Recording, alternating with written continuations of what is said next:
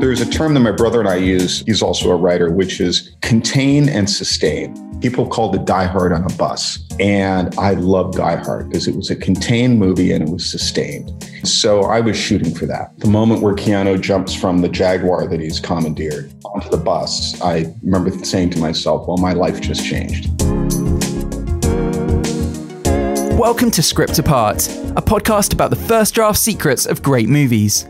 Each episode, a brilliant screenwriter revisits their initial screenplay for what became a beloved movie, discussing what changed, what didn't, and why. From first draft to the big screen.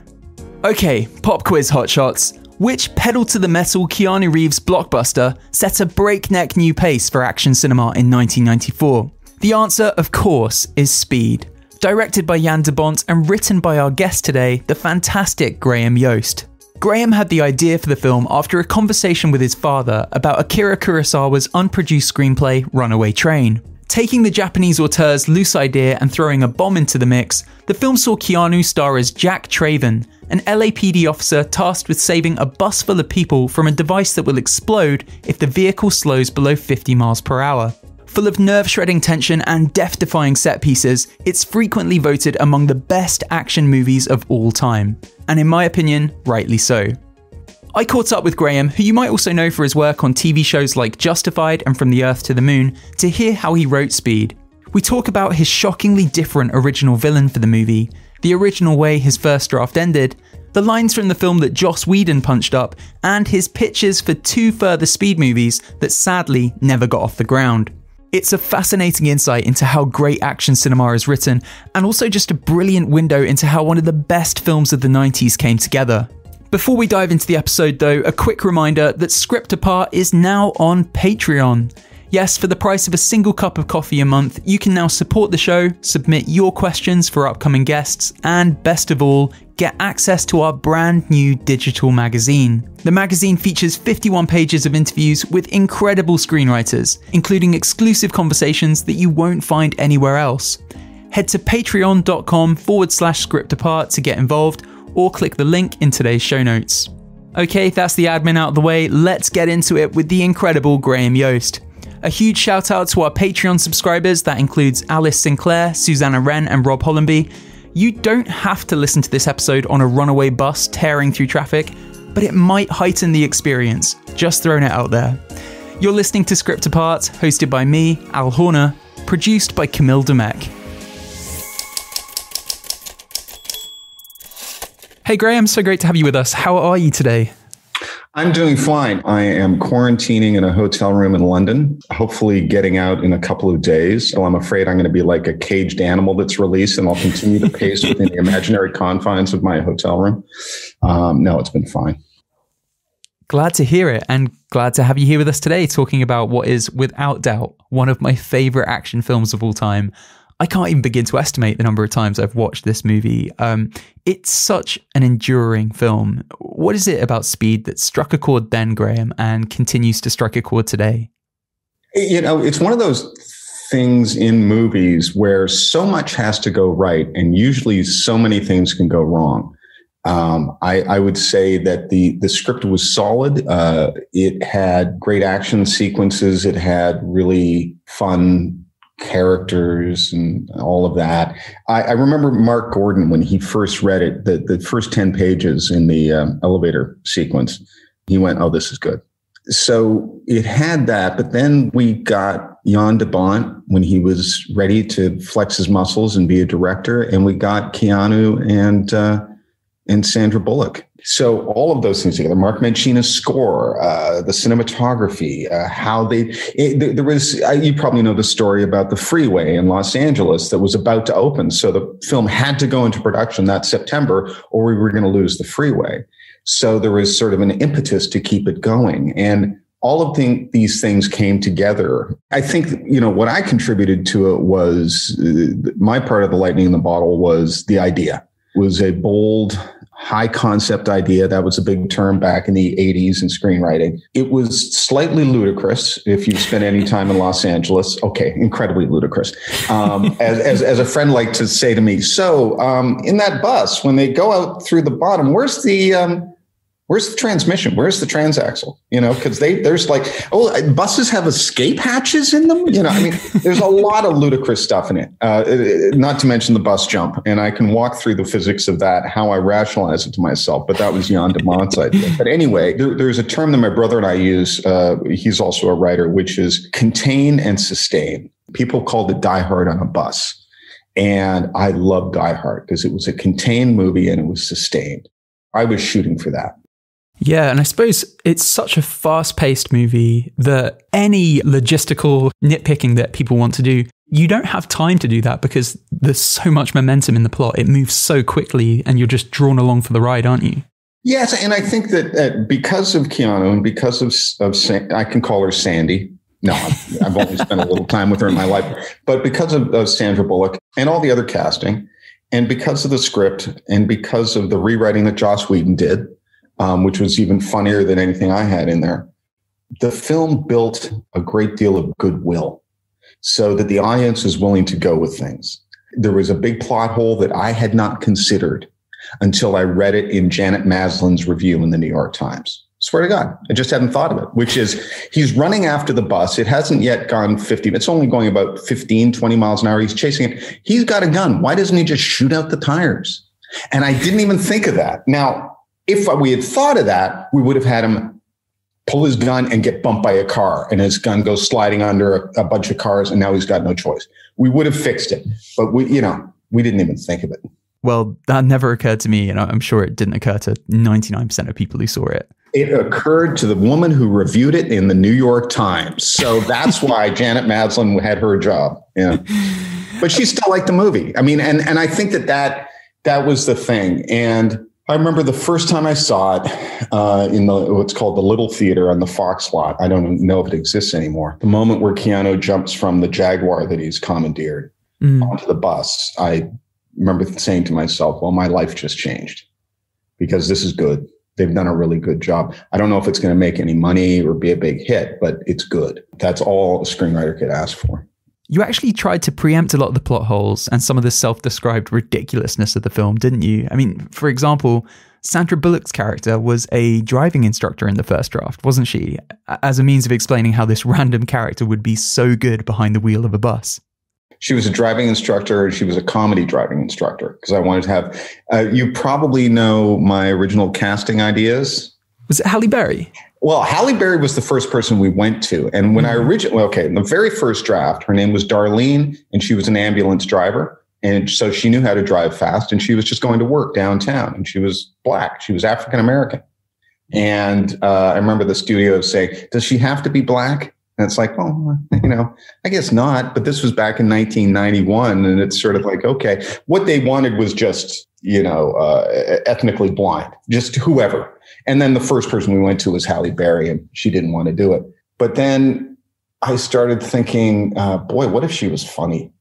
And I thought, well, there's this great female comedian, Ellen DeGeneres. And uh, she has since made a little hay over that. She found that out and did a whole funny bit on her show. But anyway, she's a very funny woman. I stand by that casting. No, we got Sandra Bullock, who is very, very funny and uh, can do it all. Yeah, she gets a lot of opportunity to flex some of those comedy muscles, um, as we'll get to. Before we dive into the script itself, though, I'd love to know where the storytelling sensibility behind Speed came from. Because, well, I know that you grew up surrounded by cinema. Your dad was the host of Saturday Night at the Movies, which was a popular show on Canadian TV. Film obviously had a big part in your life from an early age. Um, how did that upbringing translate into you wanting to write movies and specifically a movie like Speed? One of the types of movies my dad really loved were great suspense thrillers. There is, a, I think he's a British, no, he's maybe American um, director named Andrew Stone, who did these great sort of nail biting thrillers. One's called The Last Voyage and it's got this sort of silly prologue at the middle at the beginning. And then the very first thing it's a captain who's sitting at the captain's table. It's a cruise ship. And someone hands him a note and it says fire in the bo- boiler room. And that's how the movie starts. I mean that's the first scene is fire in the boiler room. And it goes from there. And so uh, i grew up loving those movies that were just tense that everything kept on going wrong and people were trying to solve the problem. So when my dad told me about this kurosawa script and one of the things my dad would do is redirect movies in his head and redirect ideas. And he would retell them in a way that was better than the original, but that's how he imagined it and remembered it. And so he said, I heard about the script where there's a train that can't slow down or it will blow up. And in the movie Runaway Train, based on Kurosawa's script, there's no bomb. They just can't get to the brakes. And it's in Alaska and all this stuff. And I came out thinking, boy, you know, that would have been better if there was a bomb and it'd be, it'd be better if it was a bus because I just felt that a train was just too linear. And I felt like the solutions were too easy on a train. You just get helicopters in and they land on the roof and they get the people off and it's fine. I just started thinking of all the problems and all the possible solutions and how the solutions could fail. So it was really built on that. And then I also knew I wanted it to be a romance between this woman who's going to drive the bus and this cop. But it went through many iterations. It eventually found its its way. It, it's you know like water finding its way. It, it ended up being the way it should have been, except for the fact that the whole subway sequence is completely superfluous, except it gets to, gets you to kill uh, the bad guy. Uh, the, the, emotional crest of the movie is when they get off the bus. Mm. You know, when it blows up and they're free, it's like everything after that is kind of like a bonus movie because they're in each other's arms. It's sort of, you know, in, in, a, in an old Hollywood film, that's all you need but we had to have a subway sequence because Paramount wanted less time on the bus, and they were the original studio. Did you instantly know when you came up with the idea that you were onto something? I mean, it's it's the ultimate logline movie in a way. You can condense that entire premise into one sentence that's just exploding with dramatic potential. I mean, you must have had a sense that I'm onto something here, right?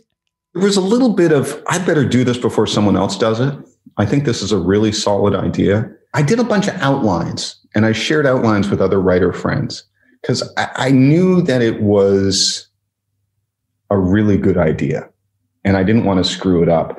Interestingly, for me, the uh, elevator sequence didn't come in until later in the game. It was something where, well, not too far late, but I think it, it, I don't know if it went into the outline or if it was when I started to write the script. And I thought, no, I need something to grab the audience right away. And I want to create a history with the bad guy and all this stuff. And we can talk about the various bad guy scenarios in the movie. I mean, that's, that was one of the big evolutions. But did I know? I knew if I didn't screw it up, it could be good. I think that I was an okay writer at that time. So I did a pretty good job executing it in that it was uh, an entertaining read but I mean, it had its problems, but people bought it for the premise and the characters and the set pieces. Mm. It, it is interesting, though. I think there's a bit of a preconception with films like Speed that um, that are based on such genius ideas that the rest of the movie must just tumble out of that eureka moment. Like the, the film must almost write itself. Um, but but the more I've revisited the film over my lifetime, the more that I've come to appreciate that there's a lot going on beneath the surface of speed that contributes to the experience and essentially makes the difference between a great idea for a movie and a great movie, full stop. Um, so, yeah, Graham, how, how tricky was that task for you, finding a story that lived up to such a brilliant premise? Well, I mean, it, it did take a bunch of outlines. And I think it, advice I give to young writers is you have to have this ability to do one of two things. One is abandon an idea if it's just not panning out and just put it on the shelf. And maybe you'll come back to it years later, or maybe you never will. And the other thing is something is got something to it. Stick with it and just keep going at it and do draft after draft after draft. I'm not one of the, uh, you know, really strong writers out of the box. It took me a lot of, of trial and error. My early scripts were not good. I always had an approach to character and dialogue that was entertaining, but it wasn't it wasn't brilliant, but it was good enough. But finding story structure and all of that and just going back at something. I mean, as I say, coming up with the elevator sequence was a matter of, yeah, this thing isn't this, it's not opening well I, I need it to open well. I need it to just grab people and then go. So there was a lot I learned by doing it. And I really listened to input from friends. I had a writing partner in Canada. He ended up becoming a professor of Shakespeare in British Columbia and a dean and all this stuff. But for a while, we wrote scripts together. I emailed him and I said, uh, Paul, I want to write this one by myself. And he said, fine, go do it. And then I wrote it and I I sent him the outline. And originally I had it, you might know this little nugget, but the the bus couldn't drop below 20. because I yes. had this strange thing in my head that I wanted it to be just faster than a human could run. Right. and he said, Who cares about that? Make it 50. That was one thing. And then I had a whole problem with the money drop. And so he said, well, he had already had had this idea of how he would, if he was to ransom something, how he would do a money drop. And he gave me the garbage can with the hole in the sidewalk thing, which it turns out other people are like, oh, I've heard that one before. And it's like, hey, okay. um, but um, so that was Paul, Paul Boudry. I think he thought I was going to buy him a car at some point. I didn't do anything. I think I, you know, bought him lunch in British in British Columbia. But buying him a bus would be more fitting. Yeah, exactly. Uh, he'd be like, "What the hell am I going to do with a bus? What? But this is a nightmare." The opening scene there, the the elevator scene that, as you say, wasn't in your original draft, wasn't in sort of your early outlines.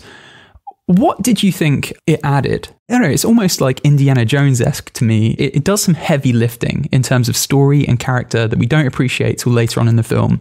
We meet uh, Howard Fisk, as he's called in the script, and we see him shove a knife through the ear of a security guard on the first page, so that establishes his ruthlessness. We meet SWAT officer Jack Traven and his partner Harry, so we get a glimpse into their relationship that makes Harry's fate in the script later all the more impactful. And we also get a glimpse into who Jack is, his competence at what he does, his mentality, his determination. What was it that you wanted to set up in this early exchange that was better to you, that worked better on the page than going straight into the bus plot? Um, I wanted to establish that they were problem solvers, that they would be presented with a dilemma and they would figure their way around it. They would, so because the whole story is basically it's a, one problem after another and how do you solve this? And how do you then solve that? And what's the trick? Uh, you know i'm talking to younger writers. I always talk about how um, you know the great heroes are not the smartest. They're not the strongest necessarily but they are clever and they figure out the trick. So perseus when he's going after medusa figures out i will look at her reflection and i will kill her in the reflection because if I look at her, she's going to turn me to stone. So he figures out the trick. So Jack keeps on trying to figure out the trick throughout the whole thing. He's not the strongest, the fastest, or anything like that. He's just clever. And I think the audiences really get a kick out of that. And now I honestly can't remember what your question is. I am starting to crash from jet lag. Who was that character to you, Jack?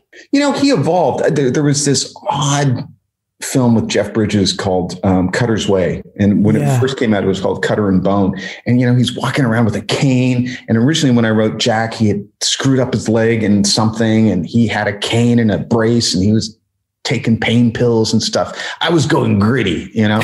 And then it was like, yeah, we don't need that. And frankly, when, when Mark Gordon, um, the producer, and Allison Segan, uh, Allison, yeah, um, Allison Lyon at that point, and uh, we met with Keanu, it was like, oh yeah, no, that's that's what the that's what the character is going to be. It's going to be that guy with that haircut. He's just going to bulk up a little bit, but he's already six foot two, incredibly handsome, charming, and very smart. So you know, some of us sort of shifted in that direction just because of who we had. I think it's worth mentioning at this point that the title at this point in the development of Speed oh, was not Speed. Here, all everyone loves to say this one. All my friends go, "Yeah, never forget he called it minimum speed at first. Yeah, what an idiot!" And it's like, yeah, no, it you know, well, it's like, like I say about, and I don't know if we'd ever you'd bring up this one, but Speed Two, which I had nothing to do with. Yeah, but you know, the the, the subtitle is Cruise Control, and cruise control is what you do when you're bored and you just in your car and you don't want to worry about pressing the pedal down. It's it's yeah, it's just you're locked in. It's there's nothing. it's autopilot so, essentially. Yeah, it's autopilot, and and so uh, minimum speed in in that regard was not so bad. No, it was bad. It was a bad title. As I, I realized, I, I think I don't know if anyone said it to me or if I realized it was just like you don't want the word minimum in your title, no matter what. That's just maximum speed, fine. Minimum speed, no. And um, throughout all these early drafts, you always had a partner for Jack, didn't you? You always had Harry. Yes. Now, are we going to tell the Harry story now? Let's get into it. Story? Yeah. So Harry, uh, I think we can reveal at this point, he originally was was going to be the bad guy, pulling all the strings.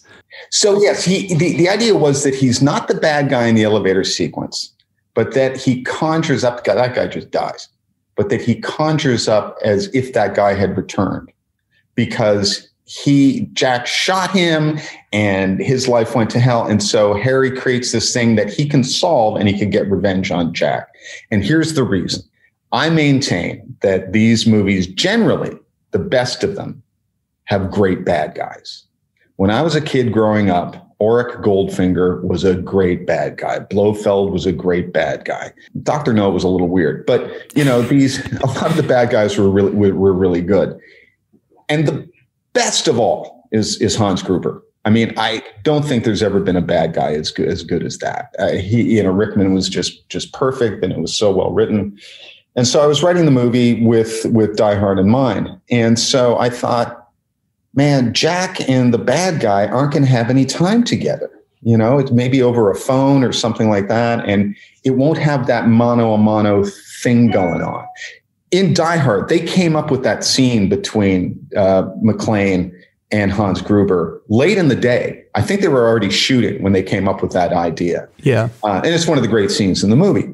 At any rate, what I did not entirely calculate was that when you cast Dennis Hopper, half the job is taken care of because he's just so interesting. You know, he's, uh, I, I, used to, I say he was America's favorite madman at the time. So uh, the, the other thing was you know, the, what we call the Harry version lasted until until the summer before we started shooting. People were on board with it. They liked the twist. It was interesting, all of that, where you find out that Harry's been pulling the strings and all of that. And then, um, and Mark Gordon hates this part, but because two other producers came in, Walter Parkes and, and Laurie MacDonald, and they ended up running um, DreamWorks for years. And you know, Walter and his his partner wrote war games and stuff like that. Anyway, very smart film people. And they said, you know, the Harry version may be doable, but I don't think you've got the time. I don't think you've got the real estate.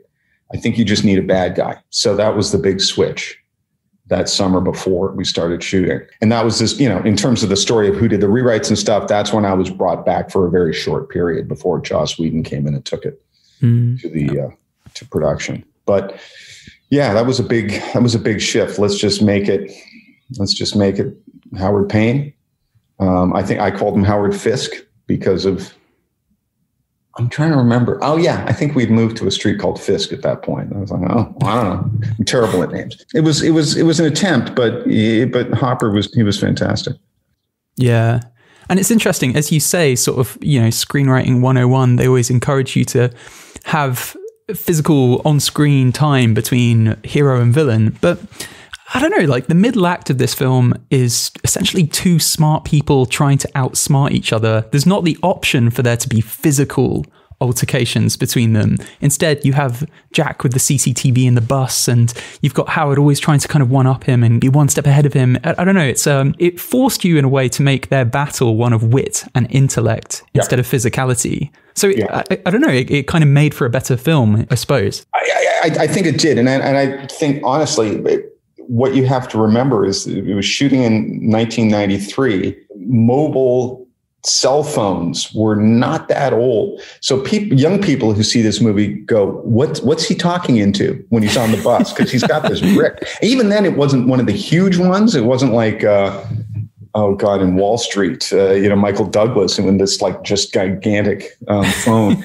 so when you're reading it on the page and I'm imagining it, I'm not seeing these two people together. But when you see it, they are together because you're cutting fat back and forth between yeah. the ends of the phone calls, and they have this connection, and they're they're talking about things um, that are happening at that moment. So it ended up working f- partly for that reason too.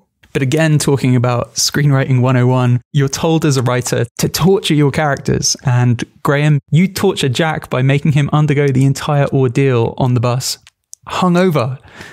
you uh, you describe him waking up bleary eyed, gulping down aspirin like it's candy. After you know what? That's, that's I, I, that's Joss. That's Joss. Oh, that Joss? So the one, the one, scene that Joss, the one actual scene that Joss really added was mm. the scene after the hero ceremony, and they get their medals and they go out and they drink. Right. Okay. So, I mean, he was really not happy that he didn't get shared writing credit. And in a fairer world, Um, there used to be old credits in, in Hollywood movies, additional dialogue by, or you know, there could have been a version where I got story and we shared screenplay or something like that. But the guild didn't see it that way. And, you know, I made my arguments, he made his arguments, and he lost his case. And he was not happy about that. He sort of buried the hatchet at a point, but then, you know, he's he's still gone on over the years and, and had threatening letters sent to him by the Writers Guild saying, you know, you're not supposed to talk about this stuff. And in fact, I'm probably not supposed to talk about it. And uh, so if I get thrown in the WGA jail for saying it on this podcast, um, it's been nice knowing. I, I'm used to it now. I think it's common knowledge that, you know, for example, Pop Quiz, Hot Shot, that kind of enduring line, that was the sort of thing that he came in and sort of. My line was far boringer, boringer. And see, when, when someone says a word like boringer, you know that he's not a great writer. And he's really just managed to get through this by, by bluff and bullshit. Um, it was like, okay, Jack, here's a scenario. Guy comes into a bank. He's got a house, you know, blah, blah, blah. And it was just, they were just talking over scenarios. Hmm. And I don't know if I'd read about cops talking about scenarios. I can't remember, but it was just, that was the thing. And it was just pop quiz hot shot. So this is one of those little things in life where people will come up to me and go, Hey, pop quiz hot shot. And I go, oh, thanks. And inside I'm going, not my line. That's Joss's. but did you like the scene of him going under the bus? Did you like the bus having to make the hard right turn? Did you like the bus going against traffic? That's me. Um, do you like to jump onto the bus? Do you like, you know, getting up? Oh, that, that's, that's my shit. Yeah. Um, yeah. But the uh, but pop quiz hotshot is not me. Mm. It's on. So I'm going to answer. I'm going to stop the interview right now. No, I'm kidding. well, it's on um, page 30 that we get what you'd call the inciting incident right on cue. The bus explodes, a phone rings, and Jack picks it up. It's a familiar voice, Howard from the elevator incident. Pop quiz hotshot, there's a bomb on a bus. Once the bus hits 50 miles an hour, the bomb is armed. If the bus drops below 50, it blows up. What do you do? So once you had this set up, you, mentioned earlier that you part of your process was to think about all the things that could happen, all the sort of obstacles that might get in their way that might threaten to slow this bus down. How did that process work? Did you literally did you jump on public transport for a day and well, kind of yeah, observe the things? I like to say that the guy who wrote Speed 2 was put on a cruise ship for two weeks. I rode a bus on my own dime from Santa Monica downtown Los Angeles, crossed the street and got the next bus back to Santa Monica. That was my research. I also walked around a bus yard in Santa Monica and saw how they clean buses. That was actually fun, um, but didn't make it into the movie. Yeah, it was. Uh, it was just what can go wrong, and then how do you solve it? And how does the solution then turn into something bad? And then how do you solve that? And it just became one thing after another. So i knew i wanted him on the and riding that bus i could see that the traffic moved fine for the er, an early morning bus out of santa monica headed downtown moves fine up until about fairfax and then the traffic starts. So i knew they're going to have to get off. Well now it's a city street thing. Okay well what about I'm going to steal from to live and die in LA. I'm going to have them going the wrong way down the wrong side of the street. Okay, we'll do that. And it just kept on. Okay, what else? Get, oh, a hard right turn. How do you how do you make a turn at 50 miles an hour? A hard right turn. Okay, everybody on this side of the bus, and and you know, figuring all of that out. Do you know the story of the baby carriage?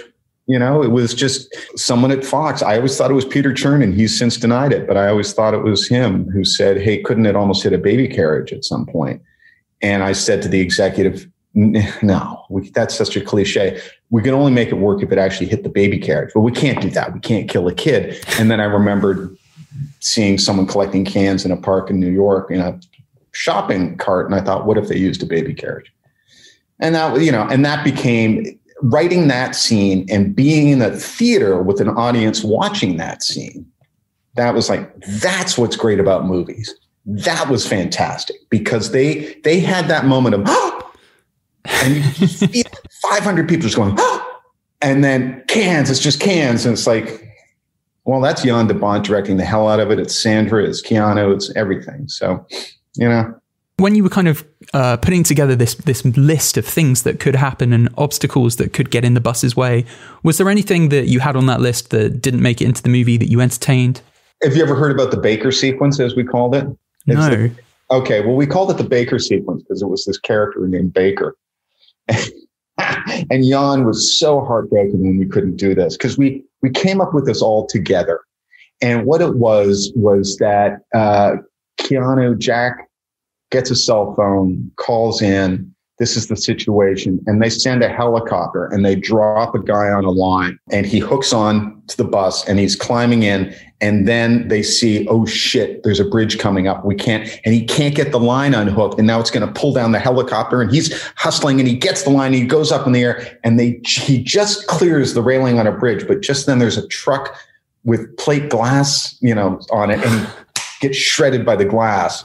And it was this big sequence, but it was like, I don't know, $2 million, $5 million or something to do that. And it was like, mm. now we can't afford it. We got to cut the Baker sequence.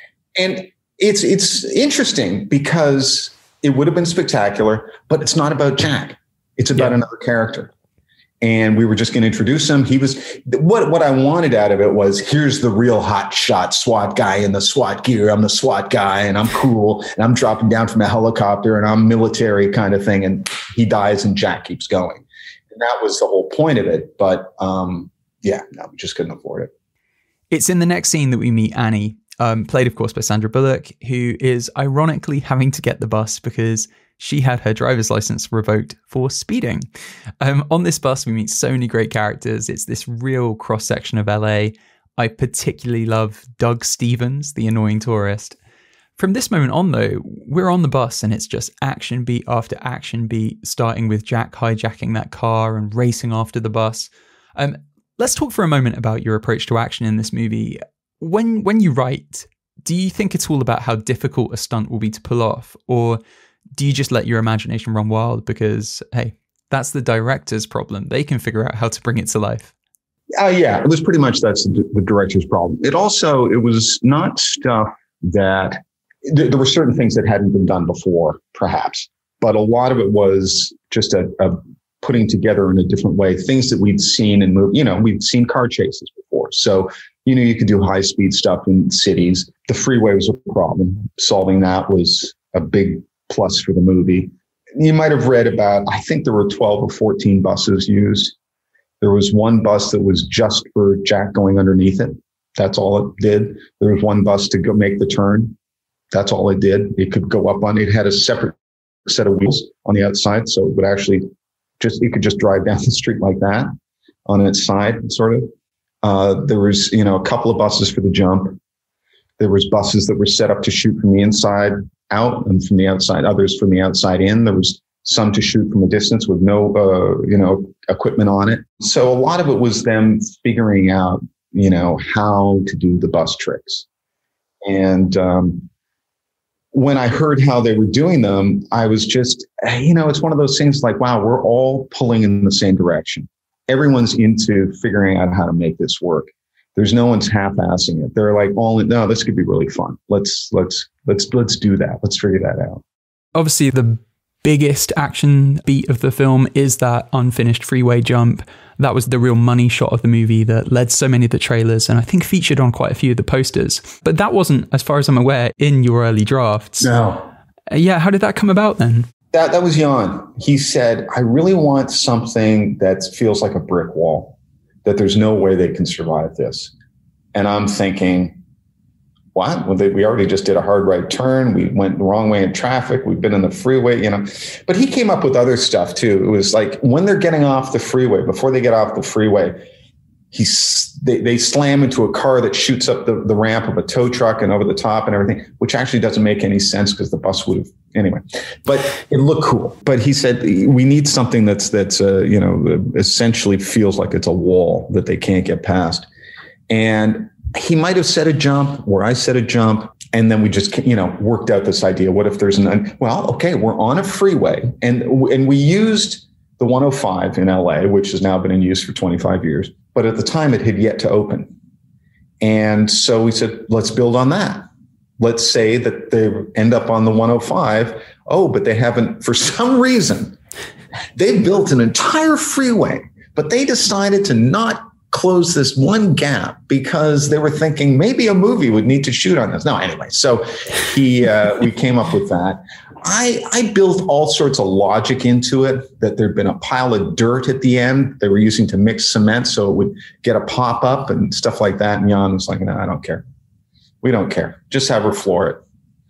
And then I came out with a logic that if the bus is 40 feet long and the gap is 50, that it's going to hit and then it's going to sort of scrape along and then pop up and go like that. He said, no, I don't care.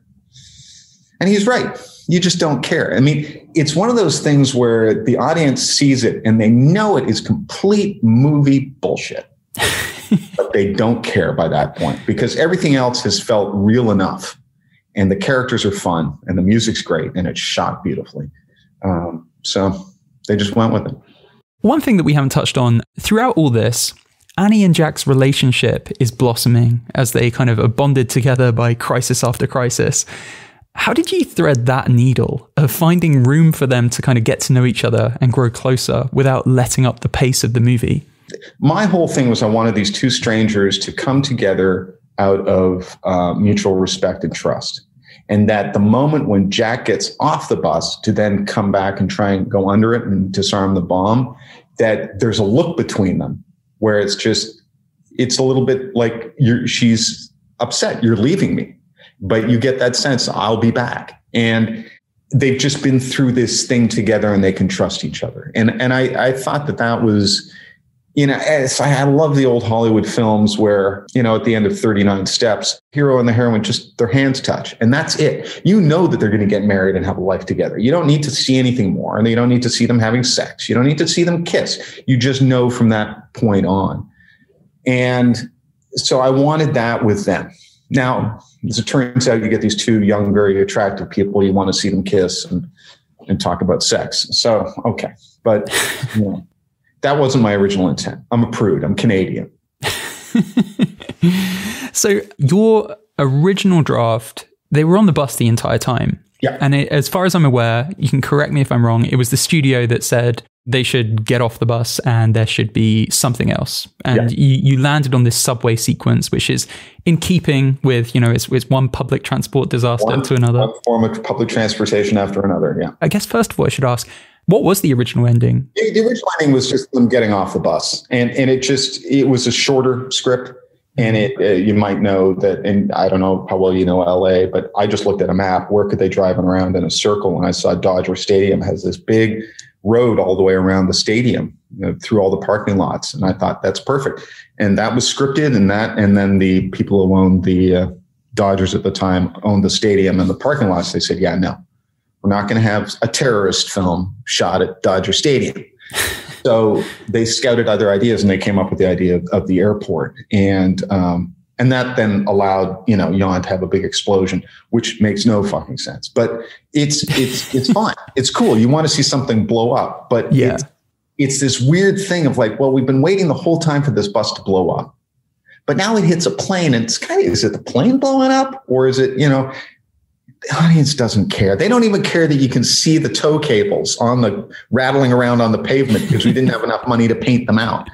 Um, yeah, that's one thing. Like they, one of the brilliant things when they did the CG shot of the the uncompleted freeway overpass is that they put some birds in, which just made gave it some depth and made it feel like that. That CG shot cost like three hundred thousand dollars at the time. Now it could be done by one of you guys in your basement, you know, for forty bucks. Um, but that's what it was thirty years ago. So to, to me, it was Subway, and okay, I can I can flip it around. I can have Jack meet the bad guy. They can have a face to face thing. I came up with the idea of the fight on top of a train. I thought that would be cool. I mean, I had whole fantasies that they were going to build a false ceiling kind of thing on like a, a, conveyor belt so we'd have a sense of because I wanted the idea of having to have a fight where you've only got two and a half feet to fight in. What how would that fight go? It didn't really turn out like that, but you know, we got to decapitate him. So yeah, yeah. Well, as I say, it is such a, a satisfying ending and it leaves on a pretty concrete note. You allude to this like bright future for the couple, and it seemed to be a self contained story of course, there was a sequel. As you mentioned, you didn't work on it. Was that because you were busy with other projects, or did you have a, a sense that this was a story that didn't need further installments? Oh no, no, no! I had I had pitches. Oh no, I had like one on a boat that was going to be called Full Speed, and one on a plane that was going to be called High Speed. No, I, ha- I had all these other ideas. They, no, it, by that point, Jan was the star, and he was the auteur, and so he got to call the shots. And you know, he wanted to do it without me. I mean, he'd had a good experience with with Joss, but Joss didn't work on it. I forget actually who wrote it, but that that's not cool of me. But you know, listen, it was it, my glib line at the time was I was not invited to a party I didn't want to go to, and it, it just it was just not a good movie.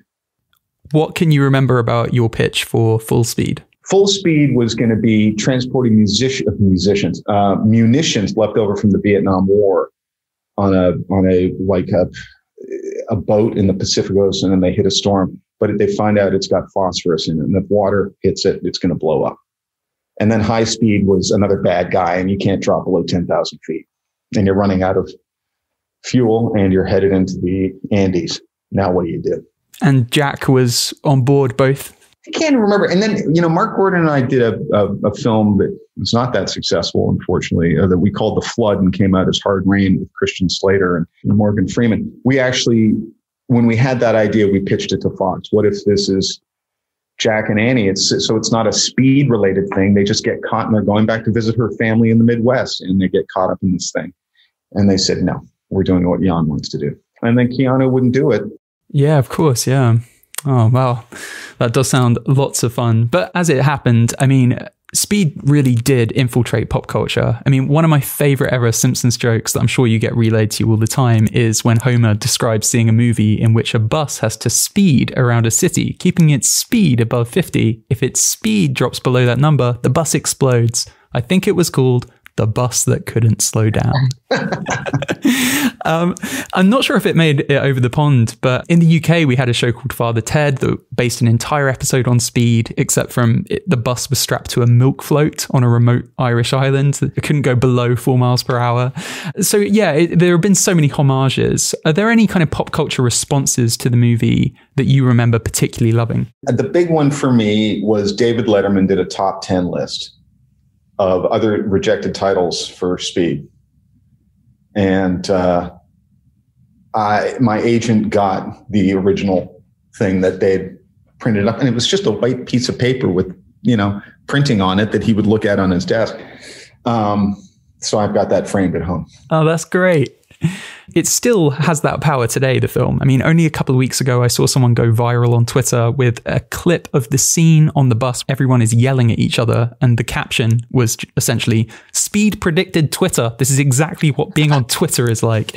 So it obviously still has this influence. How do you think speed moved the needle in terms of American cinema, action cinema. I know it was part of a wave of extremely influential action movies in the 90s many of which shared, you know, members of the same creative team, yourself, Keanu, de Bont. But was there like a, a legacy to speed success specifically, would you say?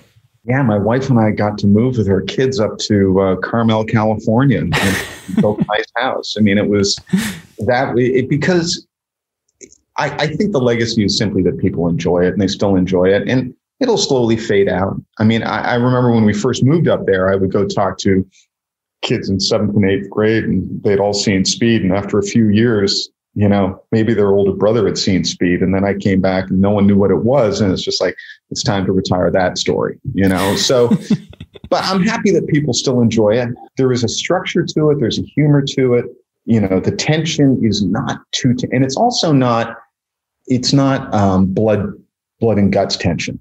Mm someone is being tortured, someone's about to be shot, someone's, it's just, it really is a disaster film on a bus. It's not that different from, from the Poseidon Adventure. The Poseidon Adventure, the boat's upside down. They've got to solve that problem.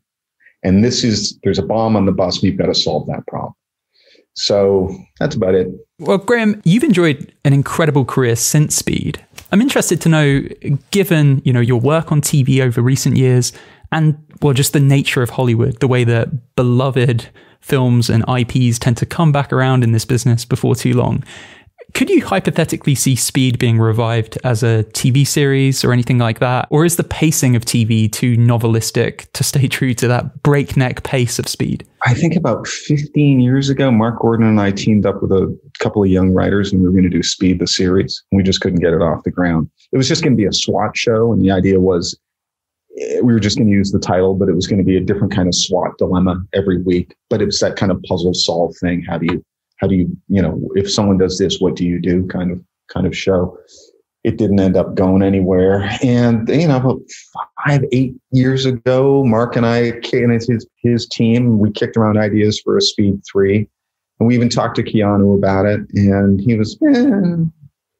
you know it i think part of it is there i'll be honest which is there was a feeling of sadness and burnout that speed 2 was such a bad film and it sort of it killed the franchise if it was a possible franchise. I think that it, it saved us from killing it ourselves because Mark and I would have come up with something, whether it was high speed or full speed or something else, it just wouldn't have been as good because he's not James Bond. He's not Bourne. You know, he's he's not Ethan Hunt. It's not that kind of transportable character in the thing. It was the whole experience of it, and to try and repeat that would feel like it was repeating it. That said, if I got a shot to work with Keanu and, and, and Sandy again, absolutely. Um, they love each other. You know, they they've got a great friendship, and uh, it'd be fun to do something with them again. Yeah, yeah. Well, Graham, this has been such a blast. And uh, yeah, as I say, I'm a huge admirer of this film and all your work. So I can't thank you enough for coming on the show to discuss this incredible movie. Before you leave, I should ask you know, you mentioned you're in London at the minute, you're working on new projects. Presumably, you're not here just to uh, check out the John Lewis French press section that we were talking about off there. Um, yeah, well, can you tell me about what's coming up from you? Um, you know, I work for Apple now. So I did for Justified and then Sneaky Pete, I was working at Sony. And then the guys who ran Sony started Apple TV Plus. And so I've been with them for two years now. And the stuff that I started two years ago, started on, is now in various phases of production. I was working on the World War II thing, Masters of the Air, and then I had to step away from that because this other thing I'm working on is going to go into production this summer. And I'm also a, a producer on the uh, Slow Horses series, which is uh, Gary Oldman playing Jackson Lamb uh, in the series of British spy novels by Mick Herron um, that I just fell in love with. And so was so happy that I could have any involvement in that. Um, that's written primarily by Will Smith and Morwenna Banks and Mark Denton and Jonny uh, Jonny Stockwood. So that's one of the reasons I'm over because we're now working on what would be the third block of six, which is the third book that Mick wrote. Yeah. So between that and then this other thing, which is a post-apocalyptic dystopian thing about the last ten thousand people on Earth living in an underground silo, starring Rebecca Ferguson, who I fell in love with the first time I saw her in in uh, in Mission Impossible. I was like, who the hell is that? and then it's like, oh, we're talking together on Zoom. Once I get out of quarantine, hopefully we're going to get together and have dinner. So that's what that's what I'm doing. It's a bunch of stuff, but um, yeah, I've had I've you know I've, I've been very lucky to work on a lot of different things, and that's the thing. I'm a lucky bastard, so I, I enjoy what I do. I enjoy getting to do this. Exciting stuff. Well, Graham, I'm looking forward to all those projects, and I can't thank you enough for coming on Script Apart to talk about Speed, a movie that I have loved for many decades and will continue to love for many decades more. You got it, guys. Thanks so much. Okay, take care. You've been listening to Script Apart, hosted by me, Al Horner, produced by Camille Demek. Thanks for tuning in. We'll see you next time.